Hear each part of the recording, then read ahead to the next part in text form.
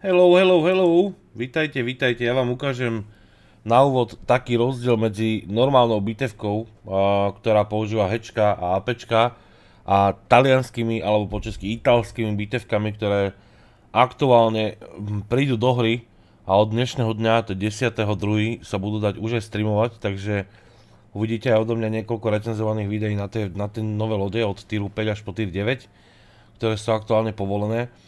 Chcem, aby ste videli, toto som išiel do výcvikovej miestnosti po niekoľkých bitvách, aby bolo jednoznačne vidno, čo robia sapy s nepriateľskými loďami, pretože tieto sapy sa chovajú dosti zvláštne, musím povedať, po niekoľkých doslova desiatkách hrách s tými loďami. Osobne mám pocit, že sapy sú šialene krivé, v prípade APček už je to štandard, Um, hlavne si treba všimnúť to rozdelenie alebo ten damage, ktorý dostávajú tie lode. To znamená, uh, v prípade, že vaša loď má výbavu, uh, kde má hečkové náboje, to znamená high explosive uh, granáty, aby som bol úplne najpresnejší, tak v prípade hečok znamená, že ako náhle hečko dopadne na palubu, tak detonuje alebo exploduje, lepšie povedané, a vy tým pádom e, minimálne, pokiaľ mu nespôsobíte nejaké poškodenie, že to vybuchlo do nejakej modulovej časti, ešte stále máte šancu mu dať oheň. Kdežto v prípade SAPu, to znamená Semi-Armored Piercing náboja, čo je poloprierazný náboj, tá roznetka sa aktivuje mierne po prekonaní alebo pri prekonávaní práve toho e, plátovania toho panciera. To znamená, e, ona potrebuje to strieľať do, do tých častí, ktoré dokáže dokáže ľahšie penetrovať, preto sa väčšinou strela buď na nadstavby, alebo v podstate v prípade krížnikov, ktoré nie sú tak dobre pancirované, sa normálne strela ako keby na úplne bežne na celú loď. Um, rozdiel, rozdiel je napríklad aj v tom, že videli ste, že triplné salvy som musel dať do Konigsberga sapmi, kdežto možno keby som dal APčka, tak, tak je tam väčšia pravdepodobnosť, že ho možno trafím. S tým sapom, v prípade, že to menej pancirovaný krížnik, viete dať aj citadelu, čo je zvláštne, Citadela na Sape je o 500, 500 HPček, má väčší damage ako, ako samotné APčko. To znamená Sapko je Citadela 12,5 a APčkom je Citadela 12 tisíc v prípade týchto Italov. Je to, je to taká celkom halus. Teraz bolo vidno práve to, čo ste sa možno tešili, že dojde DDčka, dáte mu na jednu, tak nedáte mu na jednu. Mne, mne osobne sa to v živote nestalo, keď sa niekedy po starom skúšal Kristofo či desiatka, tak dokázal DDčku narvať úplne kľudne 15 tisíc. Um, ja som hral a uvidíte tie hry. V ďalších videách hral som niekoľkokrát tie lode a musím povedať, že DDčka dopadli takto, ako aktuálne vidíte. Toto je výciková miestnosť, kde stojí Nikolas. Peťkové DDčko proti Peťkovému, tá Peťkovej talianskej bitevke a tým sapom. To, čo ste práve videli, ten reálny rozptyl, Uh, tak, tak takto nejak to reálne vyzerá hre. Proste tie, tie sapy sú... Neviem, či to budú mať ostatní, odnes to bude aj streamovateľné, ale tie sapy mi dojdú tak šialene krivé. Pri, pri výstrele na cieľ. Teraz to vidíš, jak dopadávajú tie granáty. To je proste 6 granátov. Pozor, tých, tých diel mám na palube 13. Hej? Conte de Cavour má, má vpredu dvojkové, trojkové, v stredu trojkové, vzadu 3-2 dielov, to znamená tam je 13 laufov, 13 veží a trafil som na 5,6 km z toho len 6 e, tých sapových granátov. Je to úplne že špatné doslova a do písmena. Um, neviem, či je to urobené schválne, tak aby ste tie DDčka potom nemazali na jednu ranu. Čo sa týka biteviek, tak bitevky samozrejme teraz by to malo byť vidno, preto som dal vysikovku, tam je to dole vidno. Ako náhle sapom vystrelíte priamo na, na povedzme mierne nad citadelu ani nie do vody, tak ste videli, že tie sapy neprerazia proste tu boč, ten bočný pancier bitevky, preto tými sapmi, kto už niekto, kto niekedy hral taliansku alebo italskú vetvu krížnikov, tak vie, že tie sapy fungujú len na nadstavbách. A áno, tam dávajú masívny damage, masívne poškodenie, ale len do chvíle, kým tá nadstavba nie je vysaturovaná a potom vlastne čerpa HP z iných častí lodi, takže tam už to je trošku iné.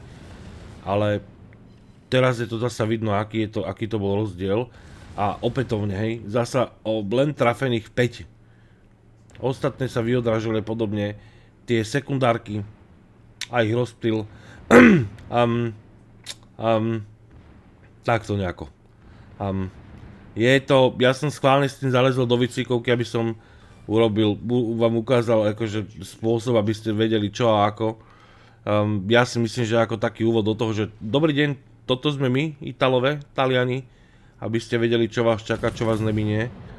Ja musím povedať, že teda tešil som sa na tú lineu veľmi, pretože desiatkový Kolombo, s ktorým som hrával najčastejšie, a bol ešte pred, pred tým pečom, ktorý došiel aktuálne, bol vynikajúci.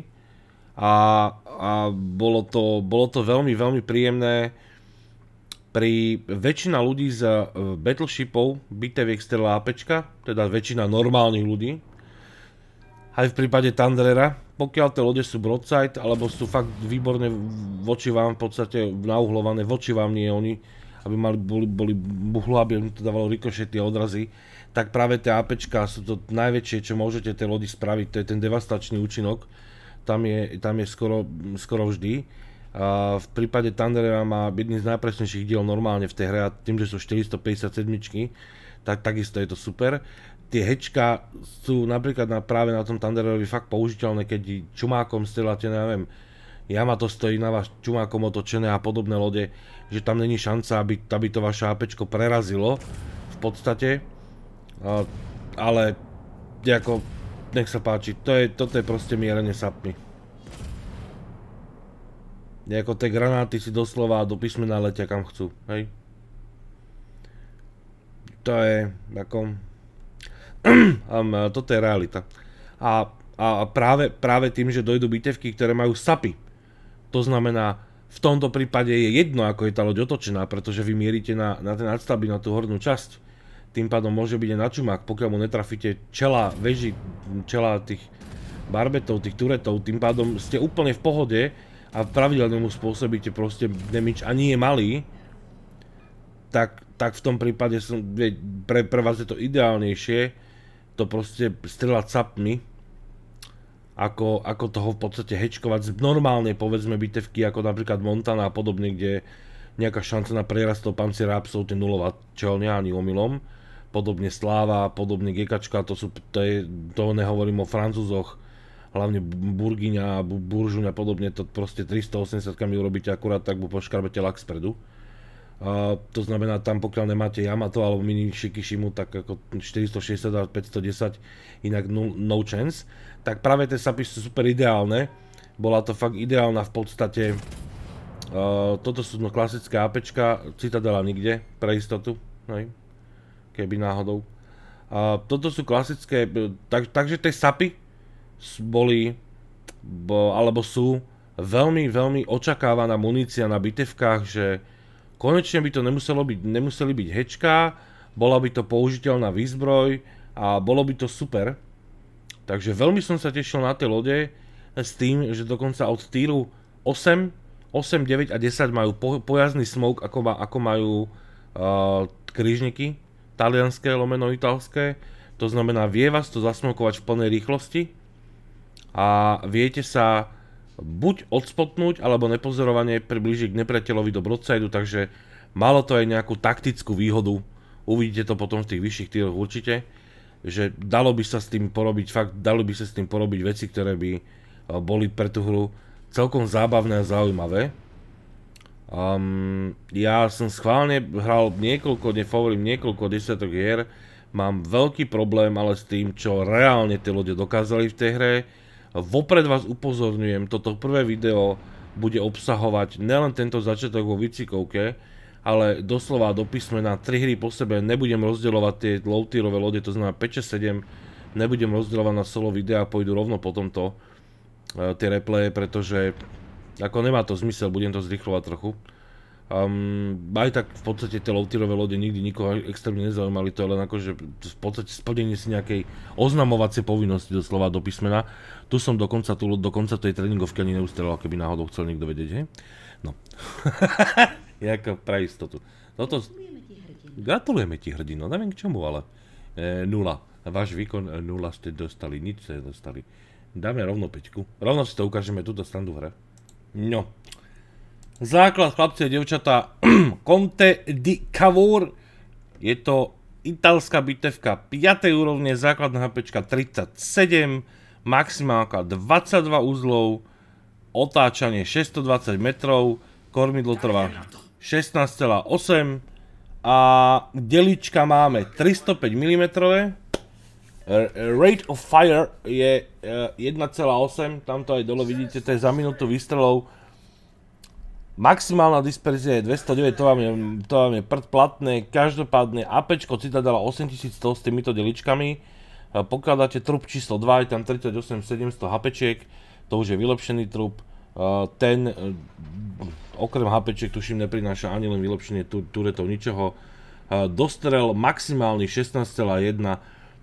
Je to 5, je to len také akože, akože, hej.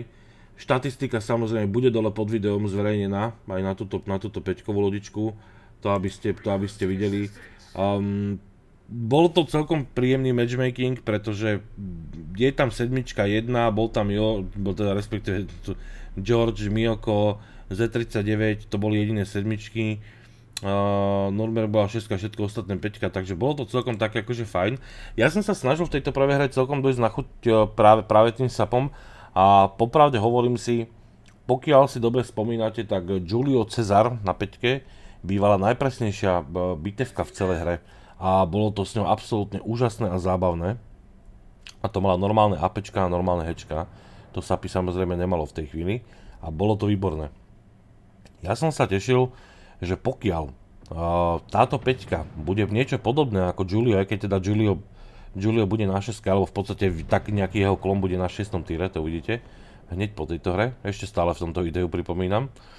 A, tak tým pádom bol, tešil som sa fakt na to, že ako náhle máte tak obrovské množstvo kanónov, tak tým pádom tie sapy budú, budú hodne prínosné a v tej hre narobia teda veľký, veľký bordel.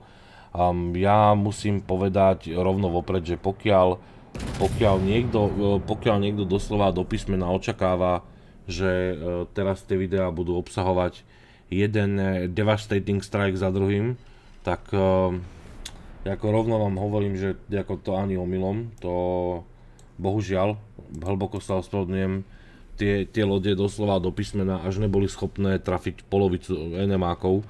Um, boli tam niektoré možno dobré výstrely, budú tam niektoré veľmi podarené veci. Najlepšia hra, ktorá sa mi s Talianmi podarila, počas, počas e, týchto dní bola asi hra na deviatke, to uvidíte, rovno tu aj budem dávať do videa, ale to bola, to, to bola tiež taká zvláštnosť. Toto, bol, toto bolo celkom milé, v tomto prípade teraz to bolo práve vidno, že to bolo Kotovský a dostal si teda tým sapom, hej. Takže bolo to, bolo to okidoki, takzvané. Tam, tam, to bolo, tam to bolo povedzme, že príjemné. Uh, bohužiaľ, tu sa začne ten obrovský marazmus versus DDčka, ktorý, ktorý nastal. Ja to budem trošku zrýchlovať v tejto chvíľke. Dúfam, že mi všetci prepáčite, ale predpokladám, že fakt 4, 5, 6 to budú zaujímať málo koho. A, a hlavne nakoľko dojde predbežný prístup na tie lode a tie lode budú mať a tie ľudia budú mať, e, budete mať možnosť mať v prístupe tuším od 4 po sedmičku, tentokrát nie osmičku, tak, tak je to také akože zbytočné. Tu som sa pokúsil normálne to vystreliť, akože snáď ho tam trafím, no trafil som akurát tak vodu. To vám hovorím rovno, akože nič, no chance. A na druhej strane nám pochcípali ľudia, tu, tu, tu bude skoro podstatné také tie fighty s tou ľuďou, tu asi budeme vynechávať úplne kompletne to okolie. To, toto sú sapy. Toto, toto sú sapka, ktoré tam budú dopadávať a teraz sa pozri. Hej. Ono, nie je to také trošku prazvláštne, že netrafilo, ale to sa deje, to je v poriadku, hovorím si, však to je normálne aj aktuálne s inými loďami. Ono, niekedy to fakt akože urobí to, že vy mu to dáte pekne aj presne aj reálne na rýchlosť a ono mu to robí, že nič. Ono treba povedať, že toto, toto sú také tie zvláštnosti, že zásahy bez prestrelenia aj to sapom a tedy trafíte, bohužiaľ, no trafil som mu niečo, čo som mu trafiť nemal Judači si ho tam pekne zožralo. Tu som sa snažil, hovorím si, fajn, pretože on síce detonoval a nadával tam chvíľu. Áno. Naše, naše klasické hučanie o tom, že máme ohník na palube. No, Sapy versus križníky sú výborná voľba, pretože pokiaľ križník netrafíte do veľmi e, ľahko pancirovanej časti, že to AP sa aktivuje a nebdá mu citadelu alebo minimálne penetráciu priamu, tak vo väčšine prípadov dostanete pár, pár nechutných overpenov, dáte mu úplne že 3-4 tisíc alebo 1250 a podobne, alebo 1350 najčastejšie a je vybavený. Kdežto pri sapoch versus krížniky, tak je vážne super, keď môže byť aj vyhulovaný. Vidíte, tie salvy sú za 7000 a vyššie. Takže v tomto prípade tie sapy fungujú. Fungujú veľmi dobre na nadstavby na bitevky, fungujú vynikajúco. Um, ja mám skoro problém s reálnou disperziou tých sapov na týchto lodiach talianských. Je mi to, je, je mi to v podstate také akože nie príjemné. Uh, ako náhle vystrelíte tie granáty, fakt vyzerajú, že letia krásne a pri dopade pozri sa, aký tam brutálny rozptyl. Hej. To bolo proste, to je, jak sprcha. Ono, ke, keď to vylietáva z tej lode, to vyzerá, že je to strašne, strašne super, ale pritom toto zrýchlim, lebo viem, že tu som sa presúval podľa tej minimapy, že tie animácie tam bohužiaľ boli mimo. Toto to boli predné delá, pozri sa, prednými delami do, do Konga. Kongo je 5 takisto ako my. V tomto prípade letí na ňo len 5 granátov do toho Konga a pozri sa 2000, hej. Ale podstatné je, že ho zase trafili 1 a 2 mu neprešli. Tuto som si celkom oddychol, to už som čakal akože rovno dostane minus 10. Hovorím, to bude, to bude nechutiarna. Tuto trošku po, počkáme si na to natočenie a tu mám taký dojem, pokiaľ to spomínam, že tu by to mohlo teraz dopadnúť celkom, cel, celkom akože e, výtečne a úspešne. A pokiaľ sa milím, tak sa milím, ale tuším, že to bolo fajn. Nebolo to fajn. Iha. Tak to nebolo fajn. A mal som pocit, že zrovna toto Kongo som tam trafil pekne. Tak, tak to nebola táto hra asi. asi sa mi to už mixuje v tej hlave. Ale ja som autista, takže to je normálne. No dobre, každopádne... Tuto fičalo, jak to fičalo, ja musím, musím povedať, že dávno som nerobil akože videá, kde, kde No nebudem ani hovoriť, čo bude na videu na osmičke. To video na osmičke bude legendárne. Také video, aké bude na Tier 8, to už bude solo video, so solo loďou. Také video som ešte neurobil. to myslím vážne, to je, to je topové video. To je, to je takzvané ako... Nesrte nám princeznu. To je, to je strašné video. Königsberg. Hej. Čávo sa zatočí, vytočí, dostane 3. A najhoršie na tom celom práve je, na týchto sapoch, že vy mu trafíte 3 granáty na palubu a vidíte, ako mu to otrhlo, doslova otrhlo 7000 lode. A vy si poviete, 13 granátmi na ňo strieľam, keď 3 granáty mu dajú 7000, čo by mu bolo spravilo takých 10, čak by ho to tam, by ste ho na šopu zabili. Problém ale je, že mne sa nepodarilo mu dať, akože ani neviem, či som niekedy z tých lodí trafil vôbec väčší počet granátov ako 7 alebo maximálne 8. je, to, je to veľmi prazvláštne, zvláštne, ale je to tak. A je to celkom dosť prekvapujúce a práve, práve, v, tom, práve v, tomto, v tomto videu som schválne nechal toto video ani ne kvôli tomu, že by to bolo nejaké extrémne, ale to je tých 7 do Georgia spomínaných. To bol pekný 13 tisícový damage, len teraz si treba uvedomiť ten George je voči mne celkom slušne otočený, to znamená už teraz by aj tie APčka mali nejaký ten zmysel. Um, bohužiaľ, ako, a ja som to nechcel veľmi preháňať a prepínať, hej.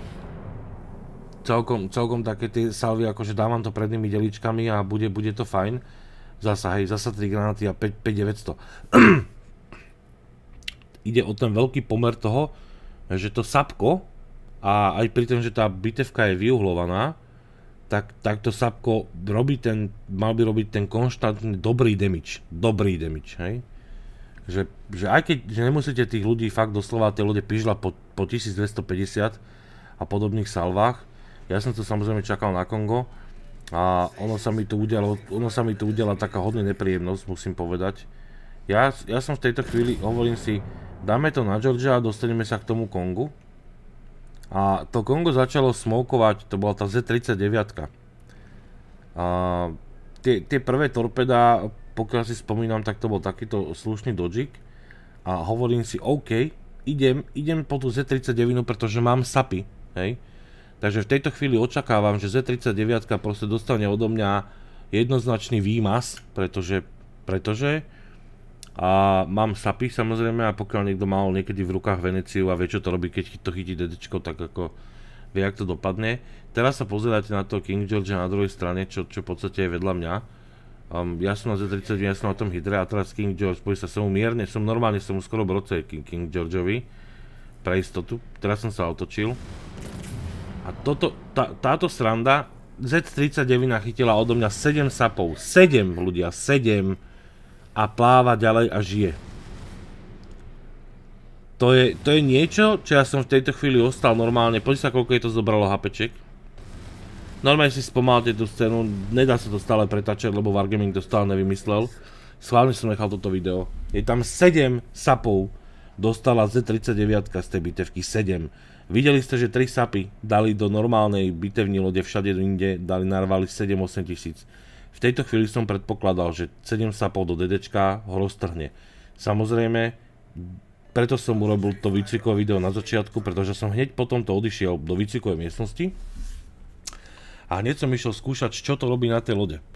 Um, problémom je to, že tie sapy fungujú ako úplne klasické normálne APčka, pokiaľ dávate overpeny. Normálne mu dávate s tým sapom každým jedným granátom overpen, Čože aj tak nevysvetľuje veľmi, že 7 ho nezabilo, ale asi bol vraj saturovaný. Ja teda neviem, či ten výstrel bol úplne náhodný, ale v tejto chvíli som, viem, že som tú, tú hru doslova, toto je replay, takže ten išiel do konca, ale, ale pointa bola práve v tom, že ja som odchádzal do, po, hneď potom po tejto hre do výcikovky a skúšal som to na tých DDčkách, hovorím, je toto možné? Však veď na toto som sa tešil. Mne nejde o to, že dám niekomu na nadstavbu veľký damage, ale to DDčko nezabije. No, tak... e, nezabilo. Meký som jak hovno v tej lodi, naľavo, napravo, pancerovanie. Akože je pravda, že trafil ma King George, chytil som dve torpeda, takže ako nebolo to úplne, povedzme, že nebolo to úplne ideálne v tej situácii. Inak ten King George nakoniec narval Krakena a vyhral hru, keby náhodou niekto chcel vedieť tak toto ustrelal King Georgik a Z prežilo až do konca a zabilo nakoniec tomu Romanska. To hru si celkom pamätám. Každopádne presne by sa na 6, pretože bohužiaľ tá, tá peťka zábavnejšia odo mňa tentokrát fakt určite nebude. Určite nebude. Uh, video nové na neho určite robiť. Mám, mám miliard replayov s ale toto je taký najsmerodanejší, aby bolo vidno, že aj to, čo sa človek teší, tak hneď dostane tak, že hneď facku na úvod. Že teší sa na bitevčičky, však počkaj, oni dojdu. Takže dáme si eh, hneď, budeme pokračovať šestičkou. Ja si to tu len prepnem a stopnem, aby som mohol pustiť šestkový replay. Aby som nebol nič dlžný zasa. Dobre, konec hry a celá hra bola takto, tam išlo podstatné práve o tejto veci. Tu je to vidno. Kvôli tomuto som robil ten, ten screenshot, aby ste to videli. 7 nadeov do Z39, výsledný damage 5495. 7 sapov. Jo? Kongo, niečo, Mioko niečo, upižlané, upižlané, upižlané, to je proste... Tu očakávaš úplne inú, inú formu damage, keď to dovystrelíš, bohužiaľ, bohužiaľ. To je Conte War, to je 5 Hovoríme si, zlepší sa to na 6 Teraz je tá otázka. Čo si myslíte? Video pokračuje ďalej, pokračuje 6 ešte bude 7 v tomto istom videu. Takže neprepínaj kanál, my pokračujeme. Zatiaľ si skús odpovedať na otázku. Bude to lepšie na týre 6? No. Šestička sa nám načítava. Áno. Máme viacej mora ako ostatní veci. Dobre, zase si povieme klasika. Andrea Doria je tier 6. Základná štatistika, opätovne pripomínam, pôjde to dole zase pod video do linku, aby ste vedeli. Základná štatistika Andrea Doria 320, tam sa nám zväčšili dela z 305 na 320. 9700 Citadela, 30 eh, sekúnd nabíjanie, HP s vylepšeným tropom 45 tisíc, eh, sekundárky e, nič, maximálne pancerovanie 250, ale maximálne dostal 17.2, rýchlosť 27 a otáčate sa takisto 640, tam bol tuším 620, kormidlo trvá 18 sekúnd. Je to základ, ktorý si dočítate, na Wikipedii žiadny super extrém to nie je. Andrea Doria už vyzerá doslova ako Julio Cezar, to znamená, tam už tá podobnosť je úplne, úplne akože až, až zjavná, že to je proste Julio, aký bol a to je práve tá, tá, tá strana, keď ho chceli narvať na šesku. Ja to zase zrýchlim, pretože zase to je len taká hra, akože aby sa nepovedalo. Uh, zase to budú také tie fajtiky, tu sme sa trošku dobehli, dobehli, bla bla bla. No musím povedať, že pokiaľ čakáte extrémne zlepšenie oproti tej peťke, tak um, asi, asi zase to niekoho rovno takto fleku sklamem.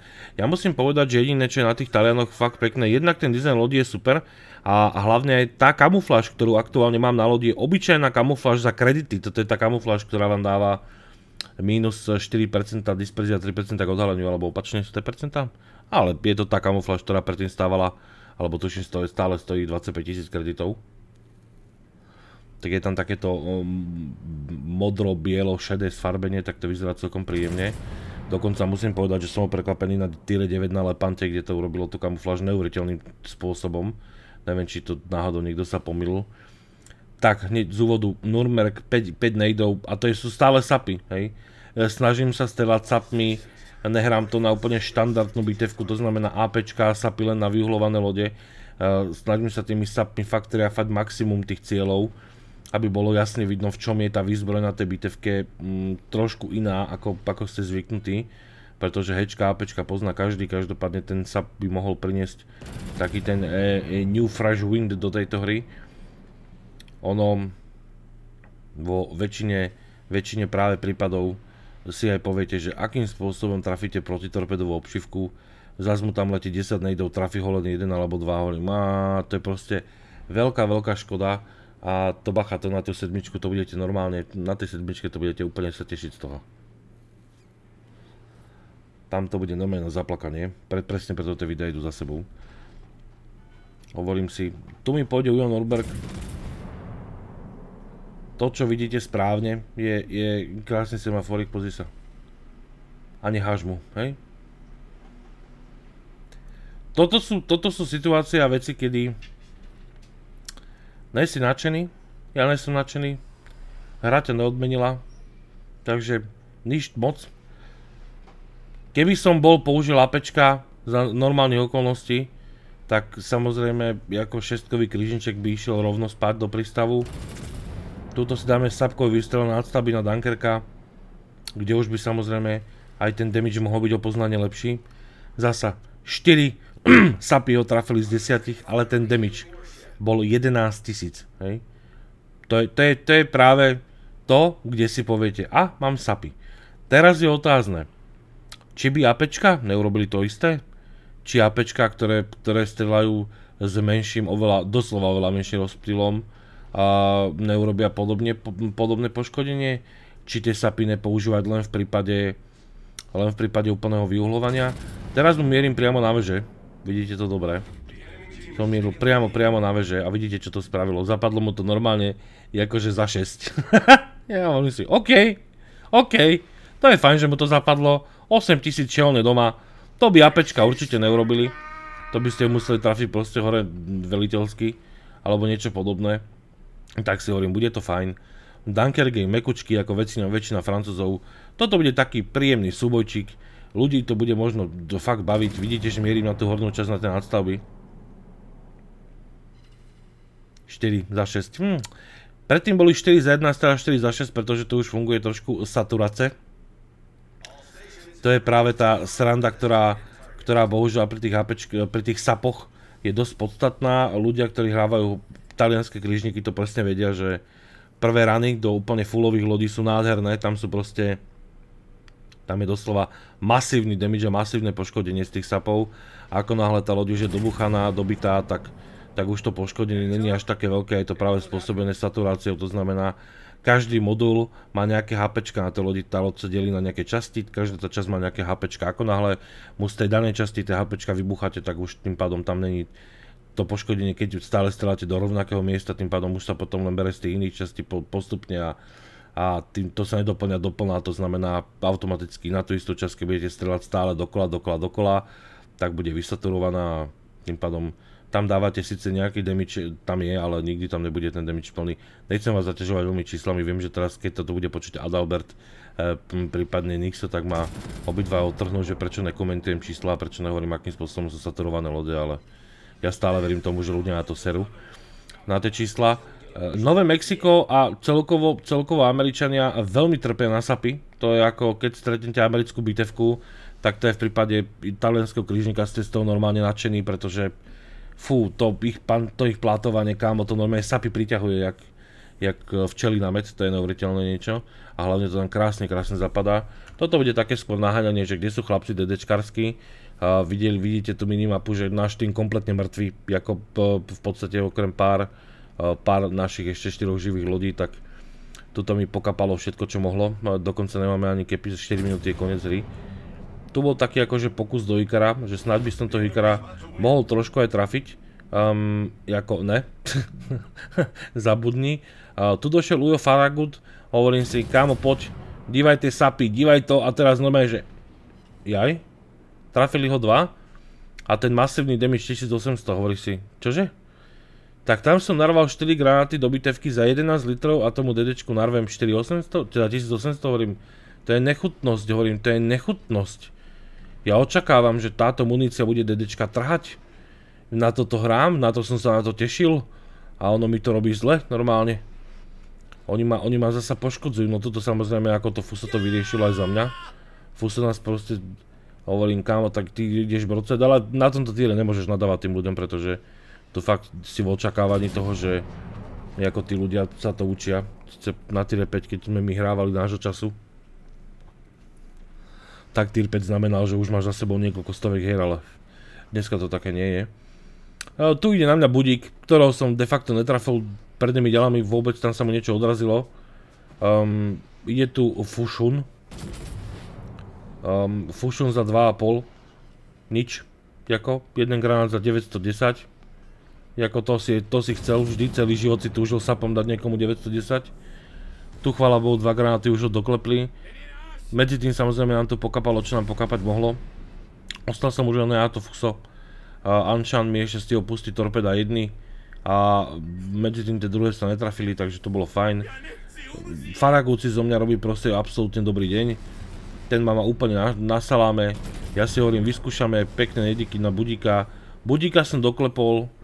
A...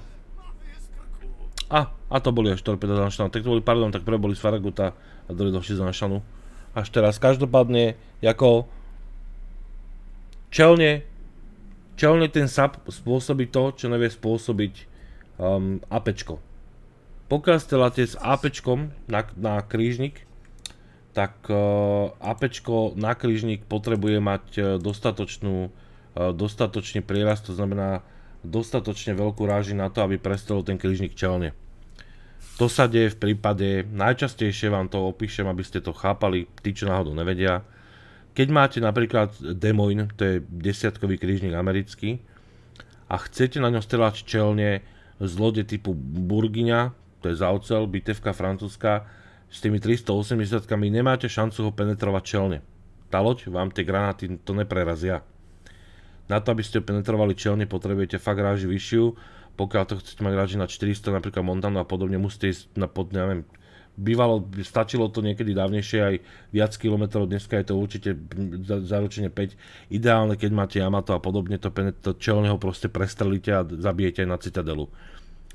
A tieto sapy sú výborné v tom, že aj keď sa vám čelne postaví krížnik, tak tým sapom mu pravidelne dokážete ho... Nedáte mu síce čelne Citadelu, pokiaľ nie ľahko pancirovateľne, neprerazíte to, ale spôsobíte mu masívne poškodenie. E, to je to, čo by normálne APčka neurobili a určite mu dáte väčšie poškodenie ako hečkami.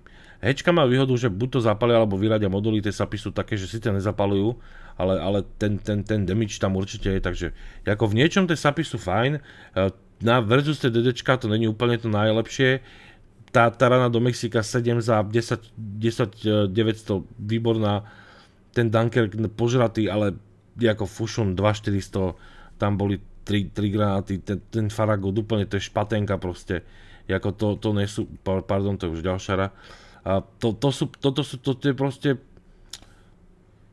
to, čo od toho očakávate, a tie aj moje vlastné očakávania, ktoré od tých biteviek boli aj na tých low boli... Boli niekde inde. Počkať, môj pes začal utekať. Ziza. Zizka. No tak. No normálne si oprela nohy, o, ako... No nič, bojuje, v, v sene uteka. Asi uteká pred Wargamingom. Že Wargaming došiel s novým updateom, tak sa mi pes snaží v sne utieť. No dobré, nič. Moje očakávania boli určite väčšie. Dáme si ešte sedmičku, týmto zakončíme toto jedno troj video, čo som v živote takto nerobil, tieto low tiry. Aj sedmičku som do toho narval, pretože to video bude už s loďou, ktorá na prvý pohľad vyzerá výborne, delá, delá sú väčšie, silnejšie, masívnejšie, takže, takže aj niektoré tie šoty budete vidieť, že tam budú super, nebudem predbiehať, ale ten koniec je, ten koniec je taký, že no, čo, čo vám budem hovoriť, čo, pozeraj ďalej, toto bude, teraz to uvidíš. Tak, už sa tu načítava sedmička. Sedmička uh, s nápisom a názvom Hej, wake up. to není ani nápis, ani názov. Uh, sedmička z uh, Francesco Caracciolo. Caracciolo, asi tak sa to číta, povedzme. Už máme 381 mm zbranie, takže tu už je to ončo. To znamená, tu už Citadelka fičí za 12 000 pri AP, SAP už je 12 500. HP 54 500 to je vylepšená paluba. Tam sa samozrejme znížil počet Ačiek, pretože logika. Pri vylepšenej palube máte menej Ačiek, aby ste vedeli. A dostalo 17,5, maximálna rýchlosť 29, strieľate 30 sekúnd, bacha sedmička bude mať zvýšený uh, zvýšený uh, real time, tam už vyšlo na development blogu uh, 6, 7 tuším a 8 dostanú pár sekúnd navyše. To no je to v podstate na týchto týroch je to akože pražek uhoď, ale podstatné veci s touto loďou, ktoré sú podstatné veci, hovorím, je, sú, sú, sú, sú práve tie, ktoré um, budú v tejto hre. Ja musím povedať, že tak ako ste videli 5 6 že už teraz si hovoríte, ako čo... Nechcem byť vulgárny, ale povedzme, že what the fuck? tak, ako to sa tešte na túto hru. Inak by som to sem nedával. Ako určite nemám záujem dávať niečo, čo není eh, vtipné, zaujímavé a, a do očí bijúce E, respektíve e, trhajúce všetky predstavy. Ja to trošku zrýchlim, pretože už to video aj tak má dosť. Tu si hovorím Westeros a moje sapy. Dívaj sa, dívaj sa. Dívaj sa. Dívaj sa. Hm? Díval si sa? A ja. E nič. to je ako...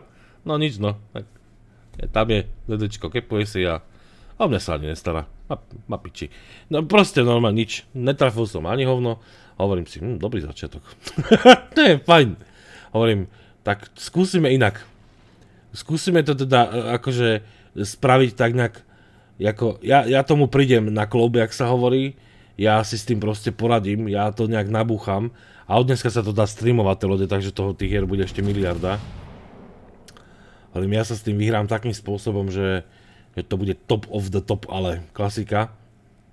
Bismarčik. A teraz divaj, pozrite sa na to.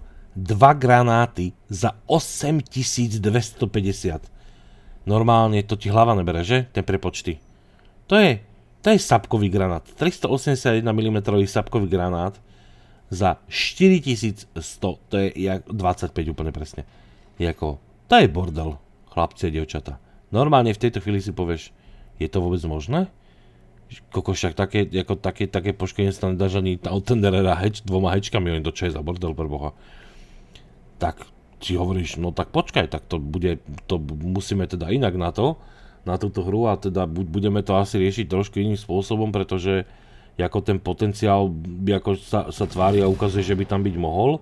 Samozrejme, mechanika tejto hry sa tvári, že ako senívajte s nami, tam si trefajte kopečky a to, čo preletelo, ho netrafilo, respektíve ho nedal ho prestrelenie, tak si hovorím, hm, fajn, milé. Ale uh, hra pokračovala ďalej. Um, ešte len sme začali a, a už, už toto začína byť akože horúce. Pozri sa, ide Ujo Šorsik, ja si hovorím, kámo, tak keď Bismarck dostal takúto mordu, tak takýto jeden spotený ruský krížnik, proste ten dostane dve mordy. To si ešte, no ja som sa postavil broce, že mám píči, dívej. A keby náhodou niekto videl, čo sa práve udialo, tak som ten shorts kompletne umil zľava, sprava, jak na autoumývárni a netrafil som ho s tým brutálne dlhým reloadom, respektíve 30 sekúnd niečo, teraz sedmička, to možno nájdem do konca videa, ale mám dojem, že to až 33, alebo to posúvali to na, na, na hodne veľa. Tak si hovorím, OK, OK, takže vlastne, keď mi išiel čelne, mohol som sa tešiť z tých sapov a toho prerazu, tak OK, tak nič. Um, druhý výstrel došiel sa a... Aha, a nič, hej. Ako... Tak si hovorím, OK.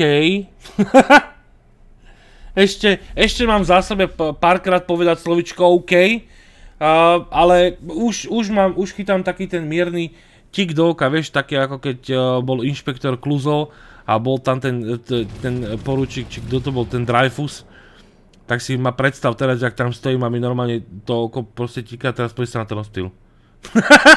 Jako? Hovorím si, aha, aha. Tak takto, hej.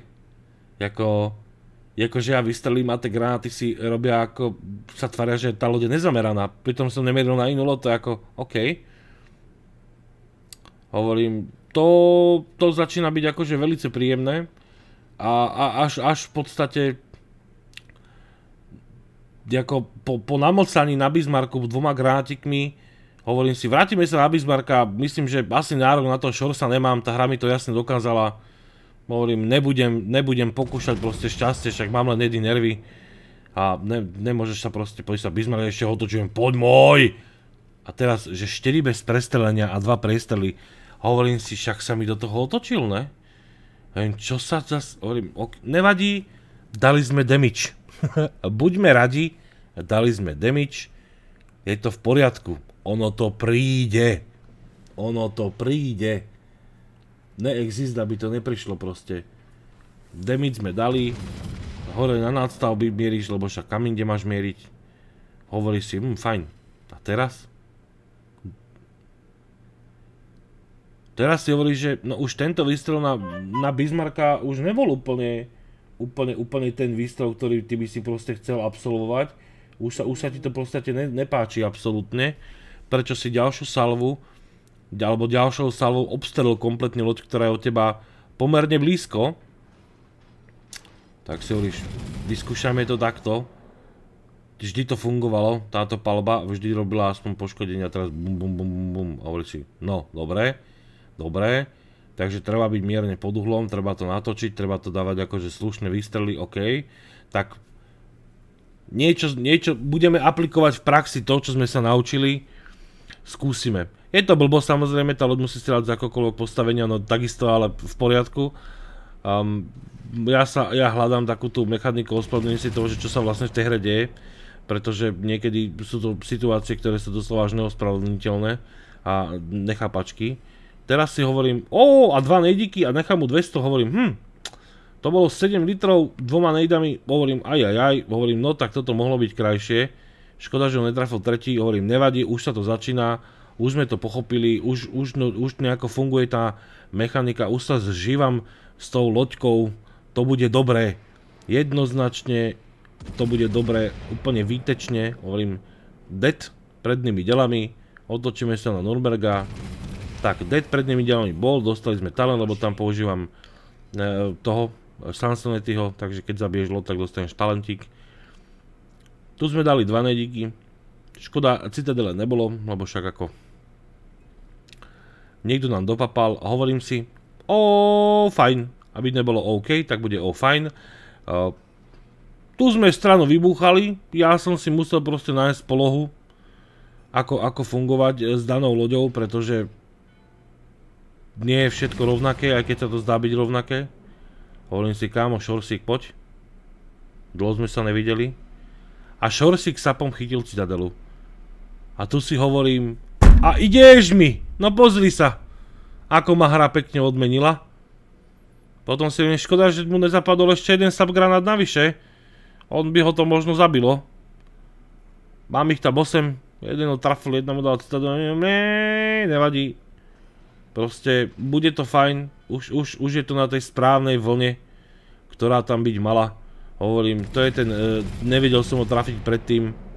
Teraz proste doklepávačka, easy. A keby ste si tento výstrel vážený spomalili, na 0.25, tak uvidíte, ako trafil úplne, že ten najposlednejší granát, ktorý dopadával na jeho loď. To už, to už normálne, už, už ma len tak ako myklo pred tým monitorom, že no ešte že, ešte že, lebo vrátili by sme sa uh, znovu k OK. Pozerám sa, hm, druhá strana. Um, chlapci pokapali, máme tam jedno DDčko, druhé, nemáme tam DDčko. Je tam Vanguard zadu, mám tu Westeros, je tam budík, oni tam majú Nelzna, Mesku, Lázl, Mahan, my máme lietadlo v koniu, majú D, to hovorím, fajn. Vidíte, vyhrávame 500 k 200. Pff, easy win. Ešte tam dojdem, poďme dobuchať Nelzna. A, a ten Nelzon, to ti bude... Ja vám to zrychlím, pretože Nelzon bude Nelzon, pozri.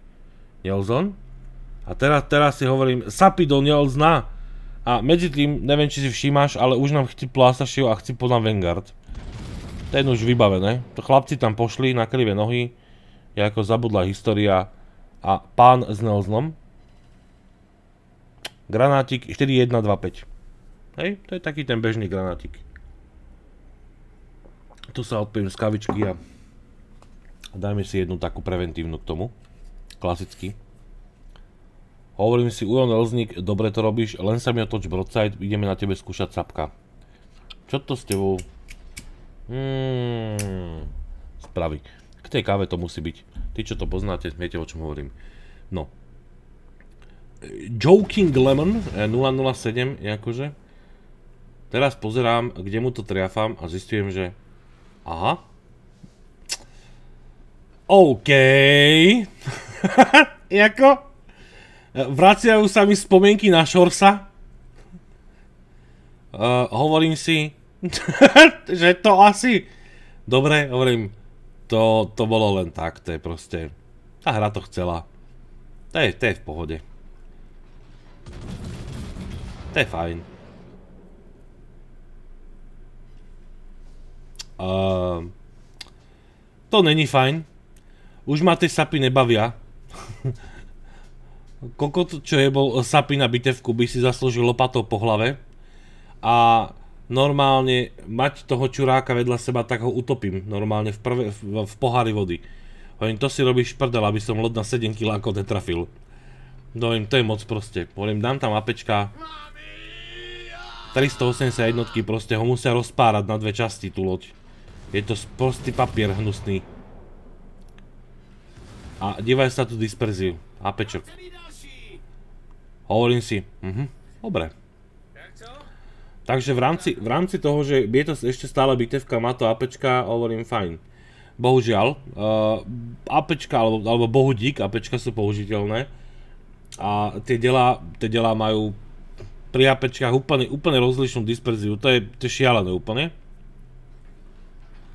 Hovorím si, neviem či to budem niekde hľadať, či je niekde popis, možno keď niekto z vás vie o tom, či je niekde popis, tak by ho mohol niekde mi napísať, že či ja som teda úplne polo, poloblázon, alebo poloslepý, alebo polo retard, len je či náhodou niekde je zverejnené, že teda sapy vzhľadom na uh, masívne, masívny damage, ktorý by dokázali spôsobiť v tejto hre, tak schválne majú zhoršenú kompletne disperziu. Tam si medzi tým Ujo v laze dal Krakena, hovorím si, mhm, to je jak na tej, proste na tej peťke, zase tam došiel niekto a dal tam Krakena, hovorím fajn. Hovorím, tak ja to ešte idem teda ja tie loďky, teraz im vysvetlím zadže toho loket, už som tam nalodoval tie APčka. Hovorím, chlapci zlatí, počkaj, teraz sa budete normálne, vám dojde zle, keď na vás zautočím tými, to, tým, touto masívnou e, bitevní lodi e, týru 7, úrovne 7, levelu 7. Dívej, Shores. Mm, nič. Hovorím, fajn. Hovorím, ideš mi robiť zle? Viem, však vydrž. Mahan po mne začína strelať. Mehen. Massachusetts po mne strela. Hovorím, chlapci, hovorím, to ste si zle vyšliapli. Hovorím, ako, toto je, hovorím si, Toto bude fajn, to bude krakeník, to bude všetko. Už som sa videl na tom piedestále, rozumieš? Oni som pod tým lazom. A lazenko pekne cez čumáček, hamiky, papiky.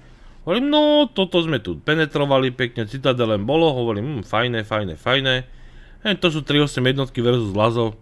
Tam to funguje. Jako? Tam ťa čísla nepustia. E, medzi tým si e, Keyboard Sky e, si proste povedali ako že chlapče zlatý, tu ti budem bordel robiť a zle robiť. Samozrejme, ja si hovorím, čávenko s tým lazom mi tam stojí, tak však ako čo by som sa s ním hral, ne? Dáme si lazenko, vypapáme, hovorím fajne. To je ten jeden pán na holení. Medzi tým už mám celkom problém, pretože bohužiaľ tých diel nie je tak veľa a hovorím, ne, ne, to nebude. A teraz ten Mahan, ktorý chodí na akože tých krásnych 7,9 km, takzvané pod 8, alebo tak som hovorím si, prepnem sapky. Sapky. Hovorím, vrátime sa k tomu totálnemu, krásnemu, nádhernému, e, novému featuringu v podobe italských biteviek. Dedečko po tebe strieľa, ty plávaš od neho ďalej, to dedečko po tebe jebe APčka, pretože je to vocas bez mozgu a strieľaš po ňom tie sapy, tie masívne semi-armor piercing granáty, ktoré ako wow, hovorím, mhm, dobre, díky. Hovorím, takto skúsime ešte jednou, keď to nabijem, keď dovtedy prežijem, samozrejme Massachusetts. Hovorím, ono, ono to príde, ona tá, ona tá moja chvíľa ešte možno dojde a dobehne. Už sa, už sa blíži ten môj výstrel, že však ako neexist, aby dedečko toto prežilo. To hovorím, poď, Poď, Mehen. Poď. Už to na teba letí. Pozri sa. Keď krása stíha nádheru. Hmm. Jako? Tu si hovorím, kde udelali soudruzi akože chybu.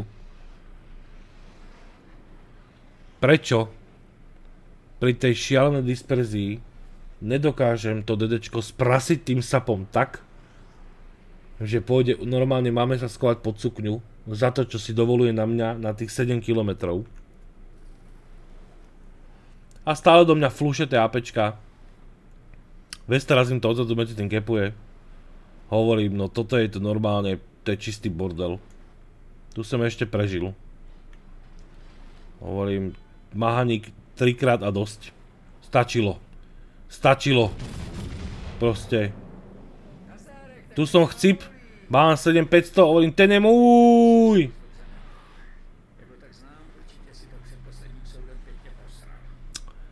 Tak. Jako... um, tá, tá horkosť, tá, tá horkosť z toho, že byť, strieľať po ňom APčka, ani to len na tej sapy neskúšať prepnúť. A že by som mal šancu ho zabiť. Bola, bola v tejto chvíli tak masívna, že, že to fakt nebolo príjemné. A ako tretia porážka v rade, hovorím si, mhm, No video s troma prehrami po sebe, hovorím, aspoň to bude také familiárne pre veľa ľudí, keď prehrávajú, že to sa dá, že prehrávať sa dá úplne všade, ale hovorím si, tak ten Mahan proste vydodžoval na 7 kilákov, čo mohol, hovorím, fajn. Hovorím, OK. Um, neviem, či je to cena útechy alebo niečo, ako nič, nič extra, nič moc a, a Nebitých hapečiek do toho, do toho Nelzna, ktorý otočil broadside, tak niektoré tie šoty sú tak zvláštne.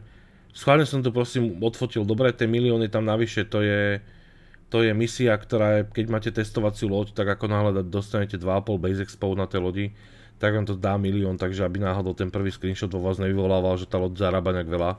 To znamená, ten milión si z toho rovno odratajte, to nebudete mať. To len v prípade, že tá loď je v teste, je to len jednorazové ako keby. Bohužiaľ testery a tí super testery nedostávajú skoro žiadne odmeny, tak im dajú milión kreditov za to, aby nahrali s tou loďou. To je, to je ako nič moc. To je tak, taká odmena od Wargamingu pre nich. To je akože hodný výsmech. Každopádne vrátime sa k tomu uh, Karačiolu na, na sedmičke.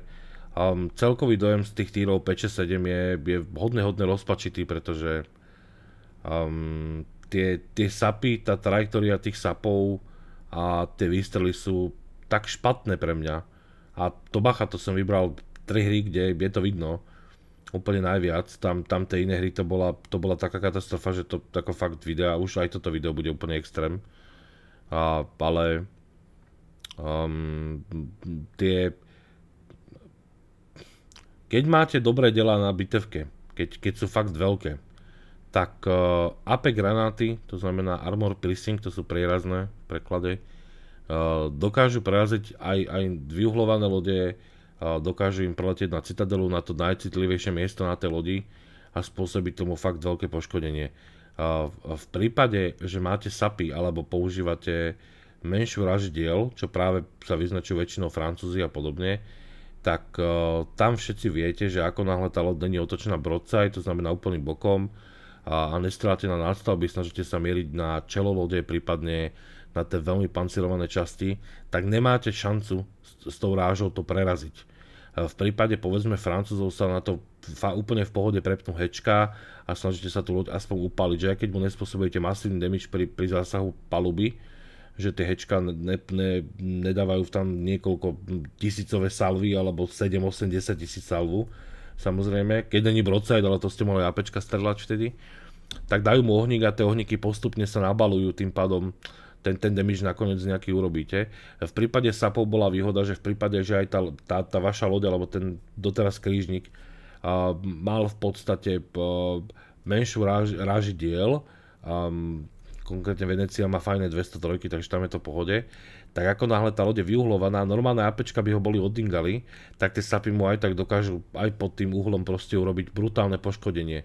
A tá kombinácia toho, že dojde bitevka s tými sapmi, bola bola predzvesť toho, že OK, budete sa mi uhlovať, ale konečne nemusím upalovať niekoho hečkami a budem mu dávať bomby. Uh, krížniky sa budú vyuhlovávať kade tade, kde by APčko holdingalo, tak je super, že ten sub mu tam dopadne na ten krížnik a ten krížnik to tam doslova akože zabolí poriadne.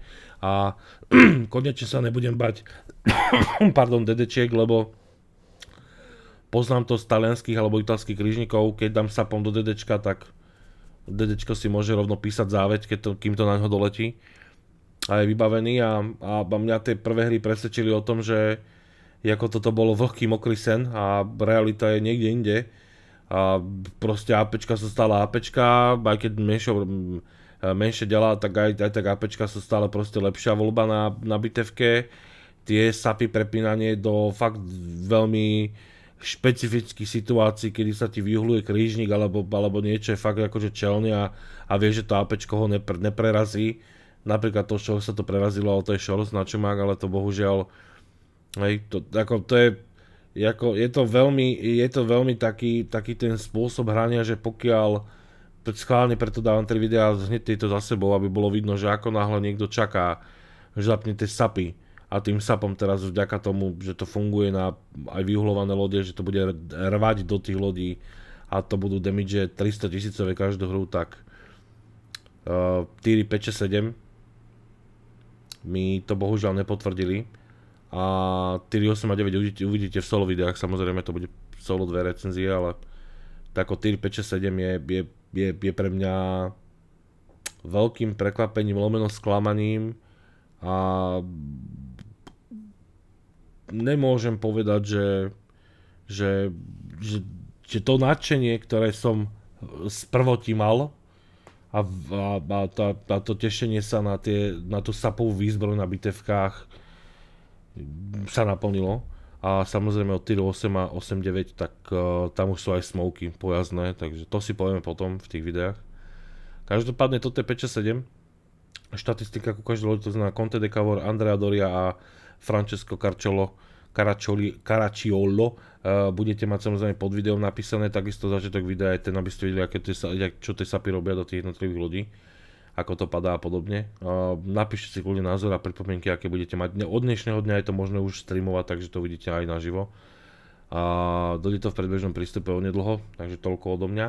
a osmička, devina budú solo, takže to si pozrieme tam. Dobre, díky moc za pozeranie, prípadne čokoľvek budete mať, tak ľudne napíšte dole do komentu a um, ja pokračujem teda v, ešte idem urobiť ďalšie dve videjka, aby to rýchlo bolo na tom YouTube.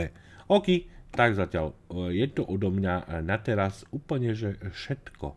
Tak papiky pa.